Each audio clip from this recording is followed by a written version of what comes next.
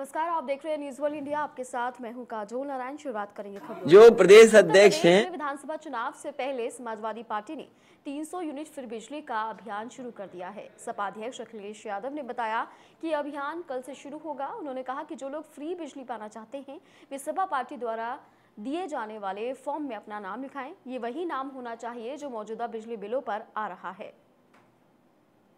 जो प्रदेश अध्यक्ष हैं उनका जवाब देंगे। और अगर उन्होंने अन्नदाताओं को आतंकवादी कहा, कौन नहीं जानता कि अन्नदाता को आतंकवादी नहीं कहा, भारतीय जनता पार्टी के लोगों ने? तो फिर आतंकवादी को अन्न क्यों खाते हैं ये? खाना छोड़ दें? और कम से कम भारतीय जनता पार्टी के लोग ये बताएँ, किसी बात को कहने से पहले, क्या उन्होंने अपने संकल्प पत्र में नहीं लिखा था कि 2022 तक किसानों की आय दोगुनी हो जाएगी? अभी भी जब चुनाव में जा रहे हैं, बहुत सारे चीनी मिलों ने किसानों के गन्ने का भुगतान नहीं किया है। पूरे उत्तर प्रदेश में धान की लूट हुई। पूरे उत्तर प्रदेश में जिन किसानों की फ़सल का नुकसान हुआ, चाहे ओलावृष्टि से या किसी कारण या जानवर से, अभी तक किसी को मुआवजा नहीं दिया गया। किसी की मदद नहीं की गई। और आज महँगाई के कारण किसानों की कमाई आदि हो गई है। तो ये इन सवालों का जवाब भारतीय जनता पार्टी कब देगी? लगातार सुझाव लिए गए थे और मैंने आपसे कहा कि जिस समय भारतीय जनता पार्टी का मैनिफेस्टो आएगा, उसके बाद समाजवादी पार्टी का मैनिफेस्टो लाएँगे। और बहुत सारे सुझाव हमें समय समय पर मिले हैं। सोशल मीडिया के माध्यम से ही मिले हैं। हमारे शुभचिंतक हैं, उन्होंने भी दिए हैं। समय समय पर किसान संगठन के लोग मिले हैं। या और संस्थाओं के लोग मिले, उन्होंने भी बहुत महत्वपूर्ण सुझाव दिए हैं। बड़े पैमाने पे डॉक्टर्स मिले हैं। लगातार डॉक्टर्स भी संपर्क में, उन्होंने भी कुछ सुझाव दिए हैं। तो लगातार सुझाव समाजवादी पार्टी को मिले हैं, जिन्होंने दिए हैं, उनके सुझावों को रखा है। और मैं फिर भी कहता हूँ, अगर कोई सुझाव देना चाहता है तो आज इतने प्लेटफॉर्म्स हैं, समाजवादी पार्टी के हैं, मेरे पास भी है, इनबॉक्स भी बहुत सारे मैसेजेस मिले हैं। जैसी तारीखें चुनाव की घोषित हुई या पिछले एक साल से लगातार लोग कुछ न कुछ सुझाव दे रहे हैं। समाजवादी सिद्धांत लागू हो, भेदभाव खत्म हो, जाति के आधार पर फैसले नहीं हो, कानून व्यवस्था बेहतर हो, डेवलपमेंट में इंफ्रास्ट्रक्चर बेहतर हो सोशल स्कीम्स पहुँचे लोगों तक, रोटी, कपड़ा, मकान, जो बेसिक चीज़ें हैं, कम से कम वो लोगों को मिले। और समाजवादी पार्टी प्रोग्रेसिव काम इसलिए करती है। आपके सामने एग्ज़ाम्पल है। लखनऊ में आप देखिए वर्ल्ड क्लास मेट्रो है कि नहीं है? उसी तरह की metro Noida to greater Noida world class है कि नहीं है? आप आगरा की वर्ल्ड क्लास मेट्रो बन रही कि नहीं बन रही? कानपुर में वर्ल्ड क्लास मेट्रो दी कि नहीं दी? ये तमाम पॉलिटिकल पार्टीज़ के बड़े बड़े नेताओं ने कहा कि नदियाँ साफ़ हों। आज दुनिया में बहस इस बात की होती कि नदियाँ कैसे साफ़ हों? पानी कैसे साफ़ साफ़ मिले? तो एग्जाम्पलरी वर्क किया समाजवादी पार्टी ने, जो गोमती को साफ़ करके दिखाया। 900 मीटर अगर जुड़ गई होती तो शहर में साफ़ गोमती बहती। वर्णा पे काम शुरू कर दिया। आपकी इंस्टीट्यूशन बनाई बड़ी बड़ी चाहे आपके कैंसर इंस्टीट्यूट बनी हो, क्योंकि यहाँ के गरीब लोगों को इलाज कराने मुंबई जाना पड़ता है, दिल्ली जाना पड़ता है, महँगा इलाज कैंसर का है, और इलाज लोग नहीं करा पाते हैं। इसलिए समाजवादी सरकार में कैंसर इंस्टीट्यूट बनी। ये सब प्रोग्रेसिव है। लैपटॉप डिस्ट्रीब्यूशन करना। ये प्रोग्रेसिव सोच थी। समाजवादी पेंशन देना गरीब माताओं बहनों का। हो सकता है कि कल हम समाजवादी पेंशन को लेकर के आप लोगों को फिर तकलीफ़ दें एक बार। तो ये समाजवादी पार्टी की लगातार कोशिश है कि प्रोग्रेसिव काम हो, डेवलपमेंट के काम हो, लोगों को जोड़ने का काम हो। हम लोग जोड़ रहे हैं। कभी नफरत की राजनीति नहीं करते। कभी किसी बात को लेकर किसी से नहीं जोड़ते। लेकिन भारतीय जनता पार्टी के देखिए, हमारे मुख्यमंत्री जी कहते हैं, जीन्स इनके ऐसे हैं। याद है या नहीं याद है? अभी कुछ दिन पहले मुख्यमंत्री जी ने कहा कि हमारे जीन्स ऐसे हैं। तो मैं तो चाहूँगा कि मुख्यमंत्री जी, हमारा, आपका दोनों का सैंपल ले लो जीन्स चेक कर लो किसके कैसे हैं। हमारा भी सैंपल भेज दो डॉक्टर हम भी दे रहे हैं, अपना भी सैंपल दे दो। पौड़ी में राष्ट्रीय पुरानी पेंशन बहाली संयुक्त मोर्चा से जुड़े अस्सी हज़ार कर्मचारियों की निगाहें इस बार सभी राजनीतिक पार्टियों के घोषणा पत्र पर टिकी हुई हैं। जिसके बाद मोर्चे से जुड़े कर्मचारी अपना समर्थन किसी पार्टी विशेष को दे सकते हैं। पुरानी पेंशन वाली संयुक्त मोर्चा के प्रदेश महासचिव सीताराम पोखरियाल ने कहा है कि वो पिछले लंबे समय से अपनी एक सूत्रीय मांग को लेकर आंदोलनरत है। इसके साथ ही उन्होंने सरकार का ध्यान अपनी ओर आकर्षित करने के लिए कभी वृक्षारोपण किया तो कभी एक दीपक पुरानी पेंशन के नाम कार्यक्रम आयोजित किया, मगर सरकार की तरफ़ से उन्हें केवल आश्वासन ही दिया गया है। पेंशन की बात नहीं रखी गई। तो इससे हम एक, एक रोष व्याप्त है और वर्तमान में सरकार 2022 का जो चुनाव है तो निश्चित रूप से जो सरकार जो भी पार्टी पुरानी पेंशन को अपने घोषणा पत्र में डालेगी और उसको प्राथमिकता से रखेगी उसके साथ कर्मचारी खड़ा रहेगा। अन्यथा अगर घोषणा पत्रों में पार्टियों द्वारा पुरानी पेंशन को नहीं रखा जाएगा तो निश्चित रूप से पार्टियों को भुगतना भी पड़ेगा और हम लोग कर्मचारी पूरा एक हो चुका है और हमें अपना अच्छा और बुरा देखना परिवार सहित हम इसको सरकार को इस बार सरकार हो चाहे कोई भी पार्टी हो उसको दिखाने के लिए तैयार हो चुके हैं। राष्ट्रीय संयुक्त मोर्चा के तत्वाधान में कई कार्यक्रम लगाए जा चुके हैं लेकिन अभी तक किसी भी पार्टी द्वारा हमारे इस ओपीएस की मांग को बहाल नहीं किया गया। है इससे आक्रोशित होकर आक्रोशित होकर हमने निर्णय लिया है कि जो भी राजनीतिक दल अपने घोषणा पत्र में पुरानी पेंशन बहाली की मांग को प्रमुखता से रखेगा उ, उसी पार्टी को हमारे जो साथी हैं उनका पूर्ण समर्थन करेंगे। चमोली की थराली विधानसभा में बीजेपी का ही दबदबा रहा है। एक ही बार कांग्रेस को इस सीट पर जीत हासिल हुई है लेकिन इस बार जनता परिवर्तन की बात कर रही है। इन्हीं सब मुद्दों को लेकर जनता के बीच जनता की राय जानी हमारे संवाददाता सुरेंद्र धनीत्रा ने। क्या रही लोगों की राय आप भी सुनिए। राज्य बनने के 20 साल और जो पिछला जो कार्यकाल सरकार का रहा वो किस ढंग का कार्यकाल सरकारों का रहा किस ढंग के विकास के कार्य यहाँ विधानसभा थराली में हुए हैं और यहाँ के जो स्थानीय लोग हैं हम उन्हीं लोगों से जान लेते हैं कि जो पिछली निवर्तमान सरकार ही निवर्तमान सरकार के दौरान जो क्षेत्र या विधानसभा के जो क्षेत्र में वो किन ढंग के विकास के कार्य हुए हैं तो आप आप आप ही अपने दर्शकों को रूबरू करा रहे हैं। क्या विकास कार्य हुए हैं? क्या क्या कहना चाहेंगे? सर मेरी नज़र में तो विकास बिल्कुल ज़ीरो है। शून्य स्तर पर विकास हुआ है। सड़कों की जो स्थिति थी वो जस की तस बनी हुई है। हमारे यहाँ पिछली कांग्रेस सरकार ने महाविद्यालय खुलवाए स्कूलों का उच्चीकरण करवाइए न वहाँ लेक्चरर हैं। ना वहाँ अध्यापक हैं और उप तहसीलें खुलवाई। उप तहसील में ना कोई पद नए क्रिएट किए गए। खाली लास्ट टाइम जो है कि सरकार ने जाते जाते लास्ट टाइम जो कि एक लॉलीपॉप सा सबको पकड़ा के गई। पद क्रिएट कर दिए, भर्तियाँ खोल दी। ज़ीरो फ़ीस पे भर्तियाँ खोल दी, लेकिन भर्तियाँ नहीं हो पाई। आचार संहिता के ठीक पहले भर्तियाँ खोल दी, एक लॉलीपॉप दे दिया। युवा अभी भी बेरोजगार है। तो विकास बिल्कुल हमारे थराली हॉस्पिटल के लोकल बात करूँ तो थराली हॉस्पिटल में आज तक इन पाँच साल एक डॉक्टर्स नहीं आया एक अल्ट्रासाउंड मशीन जस की तस जो है कि धूल खा रही है एक्सरे मशीन धूल खा रही है और हमारी माननीय विधायिका जो निवर्तमान विधायिका है वो कहती है ग्यारह हज़ार किलोमीटर हमने सड़क बना दी है। तो मैं पूछना चाहता हूँ ग्यारह हज़ार किलोमीटर कहाँ ग्यारह हज़ार किलोमीटर तो टोटल विधानसभा का एरिया नहीं है वो कहती है कि ग्यारह हज़ार किलोमीटर हमने सड़क बना दी। तो मैं पूछना चाहता हूँ कि विकास कहाँ हुआ? विकास तो बिल्कुल नगण्य है ज़ीरो है। आप शायद कांग्रेस के समर्थक आप कह रहे हैं कि विकास नगण्य है, लेकिन हम दूसरे दूसरे स्थानीय निवासी उनसे जान लेते हैं कि क्या भाजपा के इन कार्यकाल में कितना विकास हुआ है पिछले बीस सालों में राज्य बने हुए, या वर्तमान जो वर्तमान पाँच साल हैं, क्या विकास कार्य क्षेत्र में हुए हैं विधानसभा अभी इन पाँच सालों में काफ़ी थराली विधानसभा में काफ़ी काम हुए, रिकॉर्ड तोड़ काम हुए, काम नहीं कहते रिकॉर्ड तोड़ काम हुए। हमारी विधानसभा में देखा जाए तो पच्चीस से ज़्यादा तो नए पुलें हुए हैं गाँव गाँव में सड़कें हुए डामरीकरण हुए आप यहीं पे देखिए थराली पेनगढ़ मोटर रोड है। थराली विधानसभा की मतलब थराली ब्लॉक की सबसे पुरानी सड़क है। अभी उस पर काम हो रहा है पेनगढ़ तक उस पर कटिंग का काम चल रहा है, डामरीकरण का काम चल रहा है।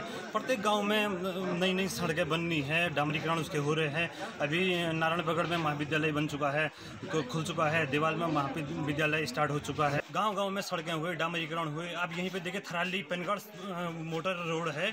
थराली विधानसभा की मतलब थैली ब्लॉक की सबसे पुरानी सड़क है। अभी उस पर काम हो रहा है, पेनगढ़ तक उस पर कटिंग का काम चल रहा है, डामरीकरण का काम चल रहा है। प्रत्येक गाँव में नई नई सड़कें बननी है, डामरीकरण उसके हो रहे हैं। अभी नारायण बगड़ में महाविद्यालय बन चुका है खुल चुका है, देवाल में महाविद्यालय स्टार्ट हो चुका है। और काफ़ी अच्छे काम हो रहे हैं। और व्यापारियों के लिए भी जहाँ तक सरकार की बात है तो स्वरोजगार के लिए सब्सिडी वाला अपना व्यवसाय अच्छे ढंग से सुचारू करने के लिए सब्सिडी वाला ऋण मिल रहा है। और भी बहुत बहुत कुछ हमारे होटल वाले भाइयों के लिए सरकार ने कोरोना में काफ़ी सहायता दी, आर्थिक सहायता दी, उनको मिलता है, काम हो रहा है और स्वास्थ्य क्षेत्र में पहले से बेहतर काम हो रहा है। सड़क के बारे में कह रहे हैं कि हमारी सरकार ने तमाम तरह की सड़कें गाँव गाँव में पहुंचाई लेकिन मैं आपसे एक बात पूछना चाहूँगा कि थराली डुंगरी रुशान भेंटी बंगाली घाट को जोड़ने वाली एक सड़क की मांग सौतर के दशक से यहाँ के और घाट के लोग लगातार करते आ रहे हैं लेकिन आज भी सोलडुंगरी तक रोड है। आज भी वो रोड की जो लोग मांग कर रहे हैं थराली से घाट की नंदा नगर से वो उस रोड पर क्या कार्रवाई हुई उसमें भी शायद कुछ विवाद चल रहा था। मेरे संज्ञान में जितना है कि विवाद अब सुलझ चुका है और बहुत जल्दी उस पर हो जाएगा काम शुरू होने वाला है। आपका कहना है कि बहुत जल्दी थराली घाट वाली मोटर मार्ग में जल्दी कार्य हो जाएगा। जो मैं आपसे जानना चाहूँगा कि जो बीस सालों का जो उत्तराखंड राज्य बने हुए हैं और जो पाँच साल जो पिछले सरकार का कार्यकाल रहा तो किस ढंग से आप देखना चाहेंगे? और थराली विधानसभा में क्या विकास कार्य हुए क्या होना चाहिए देखे ना विकास गाँव में देखिए। इस मार्केट में विकास थोड़ा होगा गाँव में जो विकास हो रखा है उस विकास को जाके देखिए। गाँव की महिलाओं को देखिए। बड़े अच्छे काम आए हैं काम कर रहे हैं। और लोग सब खुश हैं। जो भी हमारे चाहे बीजेपी के हो चाहे कांग्रेस के नेता है जो भी है। तो आप क्या चाहते हैं कि इस बार सरकार कांग्रेस की आएगी भाजपा सरकार आएगी बीजेपी की ही। काम होगा बढ़िया। काम यहाँ पे स्थानीय निवासियों ने जो दोनों भाजपा कांग्रेस के जुड़े हुए लोग हैं उन लोगों ने भी उन लोगों ने अपनी अपनी बातें रखी हैं। लेकिन हमारे बीच एक स्थानीय युवा और हैं उन्हीं युवाओं से युवा युवा से हम जान लेते हैं कि यहाँ पे जो बीस साल का राज्य हुआ है वर्तमान में जो विकास कार्य हुए क्या कार्य होने चाहिए थे जो नहीं हुए वो क्या क्या कारण है? सर्वप्रथम आपके चैनल का मैं धन्यवाद ज्ञापित करता हूँ। निश्चित ही पाँच वर्षों में ऐतिहासिक विकास के कार्य क्षेत्र में हुए। चाहे आप शिक्षा के क्षेत्र में बोलो, स्वास्थ्य के क्षेत्र में बोलो, स्वास्थ्य की मैं बात करता हूँ रात ये प्राथमिक स्वास्थ्य केंद्र जो थ्राली है, सामुदायिक स्वास्थ्य केंद्र थ्राली, वर्तमान में आठ डॉक्टर कार्यरत हैं। हम लोगों की जो मानसिकता है कि हम लोग सरकारी हॉस्पिटल से दूर भाग रहे हैं मुख्य मुद्दा अल्ट्रासाउंड का था। अल्ट्रासाउंड में कुछ तकनीकी कारणों से अल्ट्रासाउंड नहीं पहुँच पाया, वो वो खेत का विषय है। आज आज चाहे महाविद्यालय तलवाड़ी की बात करो तो तलवाड़ी में भी सारे प्राचार्य पूर्ण रूप से वहाँ पे हैं। आपका महाविद्यालय नारायणबगढ़ में खुल गया है, देवाल में खुल गया तो ऐतिहासिक क्षेत्र इस क्षेत्र में काम हुए। सर, मैं ये कहूँगा कि आदरणीय मगन लाल जी भी इस क्षेत्र की जन सेवा करते हुए स्वर्ग सिधार हैं तो मान्य मगन लाल जी के नाम पर भी विद्यालय, महाविद्यालय का नाम होना चाहिए। रही शहीदों के सम्मान की बात आप करते हैं तो असेड़ महाविद्यालय जो असेड़ का राजकीय इंटरमीडिएट कॉलेज है, वो शहीद सतीश चंद के नाम से इस बार हो गया। भी यदि कहीं होगा तो सरकार उस और भी पहल करेगी। बोलो। तो अभी जो यहाँ पे हम, हमने लोगों से बात की थराली विधानसभा के लोगों से बात की थी, यहाँ पे लबो लोबा कुल मिलाकर ये आया कि भाजपा भाजपा से समर्थित लोग कहते हैं कि भाजपा ने विकास किया कांग्रेस से समर्थित लोग कहते हैं कि कांग्रेस ने विकास किया। लेकिन जो ग्रामीण क्षेत्रों से आम जनता से अगर पूछा जाए तो आम जनता खुश है। बहुत खुश नहीं है। आम जनता बिल्कुल त्रस्त है। विकास विकास वो उनके कोसों दूर है शिक्षा दूर है स्वास्थ्य दूर है। अभी यहाँ पे सामुदायिक स्वास्थ्य सराली केंद्र सराली की आठ डॉक्टरों की बात की गई लेकिन ये ये अस्पताल हमेशा रेफर सेंटर बना रहा। इस प्रकार की समस्या है ज्वलन समस्याएँ रही हैं। ठीक है जनता जो कुछ कहती है जो समर्थक हैं वो अपने अपनी बात रख रहे हैं। लेकिन जनता की जो बातें निकल के आ रही है कहीं ना कहीं भाजपा कांग्रेस के दोनों पार्टों के बीच यहाँ की स्थानीय जो जनता है वो पिछले को मजबूर है। कभी भाजपा के पार्ट के नीचे कभी कांग्रेस के पार्ट के नीचे। अब बहरहाल देखना होगा उन दो हज़ार बाईस का जो विधानसभा का चुनाव है जनता अपना क्या निर्णय लेती है जनता क्या फैसला लेती है जनता किसको अपना प्रतिनिधित्व सौंपती है और किसको किसकी सरकार राज्य में बनाती है इन्हीं सवालों को लेकर के हम आप बने रहे न्यूज़ वर्ल्ड इंडिया के साथ। सुरेंद्र है विधानसभा से बोली नैनीताल के आरपाटा क्षेत्र में नगर पालिका परिषद के सभासद मनोज जगाती ने कहा है कि जहाँ एक ओर निर्माण कार्य वर्जित है, वहीं दूसरी ओर धड़ल्ले से भारी भरकम निर्माण कार्य किया जा रहा है।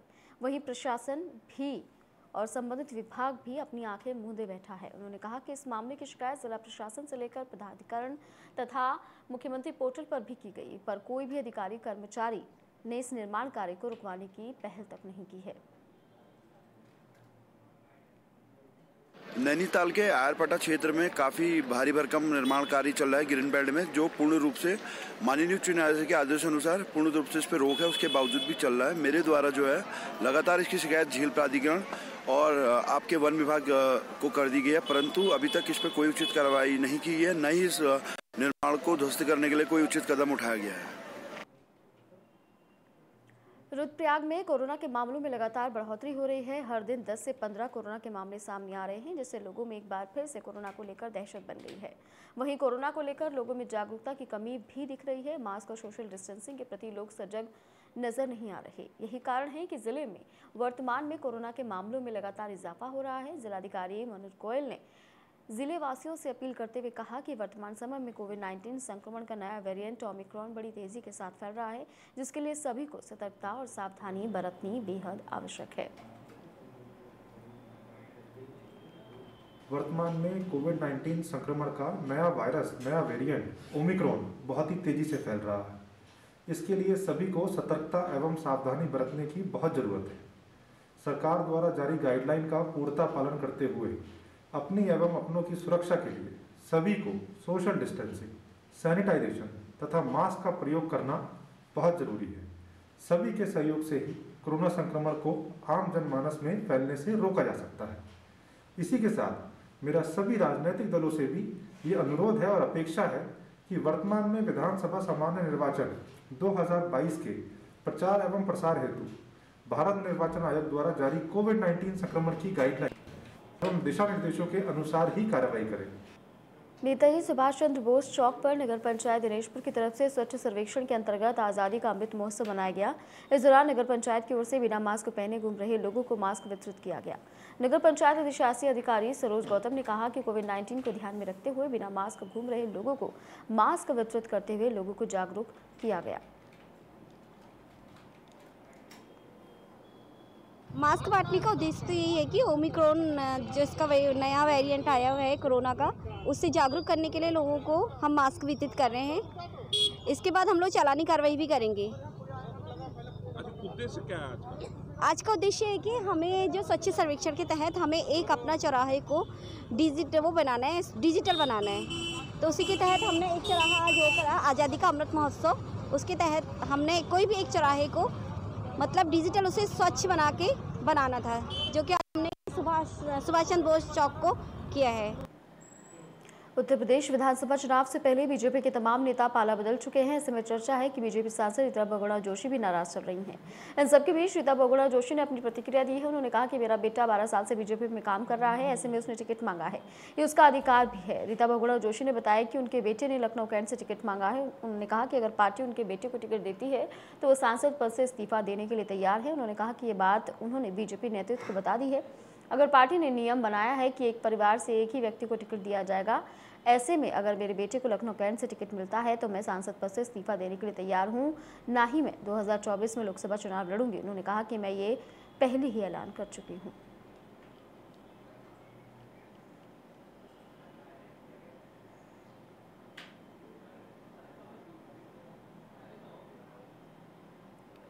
बीजेपी ने कांग्रेस और समाजवादी पार्टी पर आरोप लगाया कि वो बांटने की राजनीति कर रहे हैं। दिल्ली में बीजेपी हेडक्वार्टर पर एक प्रेस वार्ता में पार्टी प्रवक्ता संबित पात्रा ने कहा कि दोनों दलों में रेस चल रही है कि कौन कितना घृणा फैला सकता है। सपा के प्रत्याशियों का नाम लेते हुए पात्रा ने आरोप लगाया कि सपा उन ताकतों को टिकट दे रही है जिनके खिलाफ गंभीर मामले दर्ज है। इस दौरान क्या कुछ कहा संबित पात्रा ने सुनी। आपस में जिस प्रकार से एक कॉम्पिटिशन और एक प्रतिस्पर्धा चल रही है कि who will promote more hatred for the Hindus हिंदुओं के खिलाफ ज़्यादा घृणा कौन उगल सकता है? और हिंदुओं के खिलाफ बोलने वालों को कौन सी पार्टी प्रश्रय दे सकती है? इस प्रकार का विषय, इस प्रकार का प्रतिस्पर्धा कंपटीशन हम उत्तर प्रदेश में समाजवादी पार्टी और कांग्रेस के बीच में देख रहे हैं। कल आश्चर्य हुआ जब एक औपचारिक फॉर्मल प्रेस कॉन्फ्रेंस में, जिसमें कांग्रेस के अध्यक्ष, उत्तर प्रदेश के अजय लल्लू जी मौजूद थे, उनकी मौजूदगी में मौलाना तौकीर रज्जा खान, जो कि इतिहाद ए मिल्लत नामक पॉलिटिकल पार्टी को हेड करते हैं, उन्होंने कांग्रेस पार्टी को अपना समर्थन घोषित किया।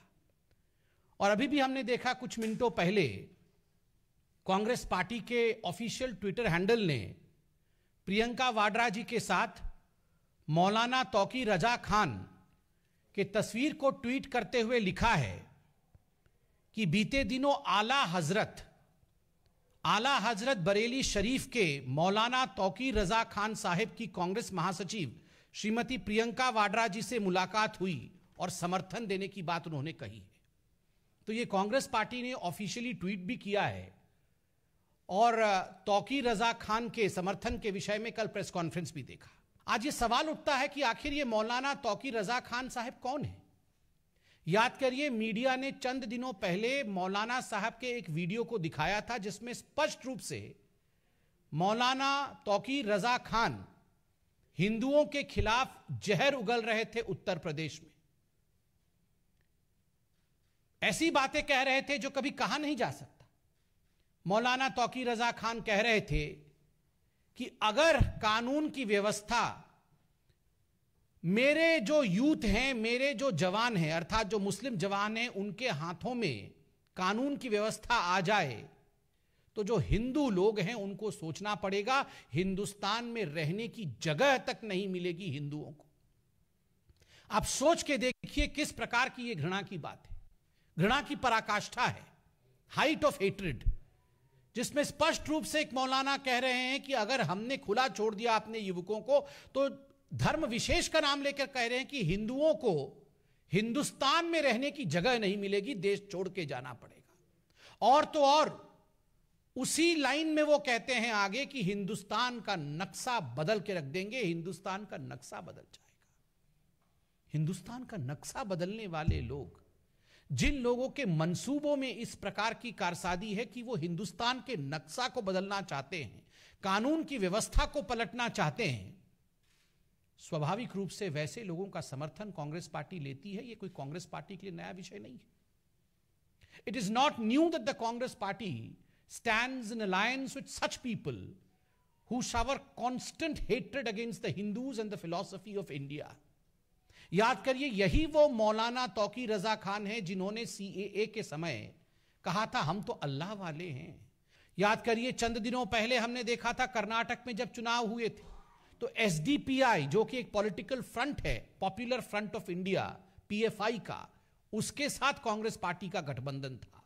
बंगाल में ठीक उसी प्रकार इंडियन सेक्युलर फ्रंट जो अब्बास सिद्दीकी हिंदुओं के खिलाफ जहर उगलते थे उनके पार्टी के साथ गठबंधन कांग्रेस पार्टी ने बंगाल में किया था। स्वाभाविक रूप से ये जो रेडिकल सिंडिकेट है कांग्रेस पार्टी का जो रेडिकल सिंडिकेट है वो पूरे हिंदुस्तान के सामने आज एक्सपोज है। The radical syndicate which is in fact furthered by the Congress party, stands exposed in front of India today. और इसमें कोई कांग्रेस पार्टी अकेली नहीं। इसमें प्रतिस्पर्धा हो रहा है। प्रतिस्पर्धा अर्थात कंपटीशन समाजवादी पार्टी के साथ है, याद रखिए। नाहिद हसन पे भारतीय जनता पार्टी ने अभी चंद दिनों पहले आवाज़ उठाई थी, उसका नतीजा आपने देखा। सत्य की जीत हुई। नाहिद हसन, जो कि कैराना से समाजवादी पार्टी के कैंडिडेट थे, आज वो जेल में है। वही नाहिद हसन, जिसने हिंदुओं के खिलाफ जहर उगला था और कैराना में पलायन के लिए जो जिम्मेदार थे वही नाहिद हसन जिसने कहा था, हिंदुओं की दुकान से और हिंदू व्यापारियों से किसी प्रकार का संबंध नहीं रखना है। अगर उनसे हम सामान खरीदना बंद कर देंगे तो उनके पास कोई ऑप्शन नहीं बचेगा। उन्हें कैराना से पलायन करना पड़ेगा। उनको समाजवादी पार्टी ने टिकट दिया था। आज जेल के सलाखों के पीछे है। रफीक अंसारी, मेरठ से रफीक अंसारी जिसको टिकट मिला है। और किस प्रकार के केस उनके ऊपर लंबित थे, यह भी हम जानते हैं, किस प्रकार की घृणा की बात वो करते हैं, यह भी सर्वविदित है। असलम चौधरी विधानसभा, धौलाना। दो समुदायों के बीच लगातार जहर उगलना, दो समुदायों को किस प्रकार से दंगों में झोंकना, यही असलम चौधरी का काम रहा है, उसे भी समाजवादी पार्टी ने प्रमोट किया है। साहिद मंजूर, किठौर से। उनके खिलाफ भी क्या केस है, आप अध्ययन कर सकते हैं। और मोहर्रम अली पप्पू, मोहर्रम अली उर्फ़ पप्पू, जिसको टिकट दिया गया है समाजवादी पार्टी द्वारा और जो सहारनपुर में गुरुद्वारा हिंसा का मास्टरमाइंड। और इसी के साथ फ़िलहाल खबरों में इतना ही। आप बने रहिए न्यूज़ वर्ल्ड इंडिया के साथ।